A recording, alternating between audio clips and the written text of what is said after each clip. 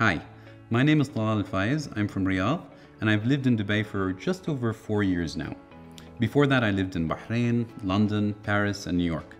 I studied business management and international business, then went on to specialize in human rights and Islamic law. What drives me in terms of my work is the desire to deliver impact to people, be it through programs and partnerships or through helping to craft an ecosystem in which our communities can thrive. Personally, I'm a history buff and I enjoy movies and the theatre. I lead public policy for TikTok in the GCC.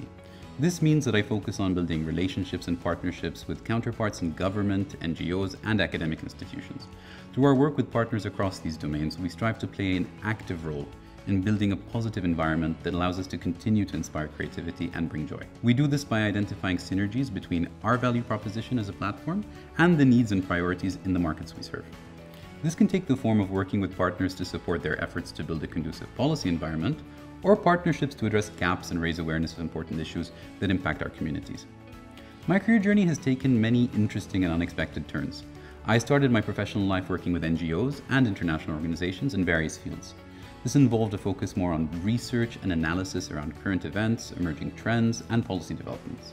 I would not have imagined at the time that the skill set I was cultivating would be desirable outside of this industry, let alone in the tech world. I was introduced to corporate public affairs work by a close friend working in the tech industry, who thought I would be a good match for an opening in their organization.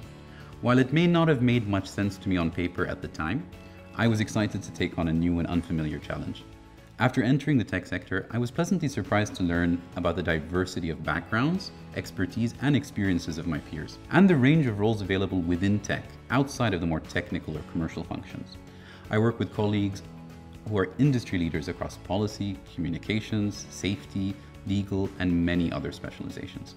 Because of the constantly evolving and very dynamic nature of the work that we do, I've embraced this career path and learned something new each day as a result.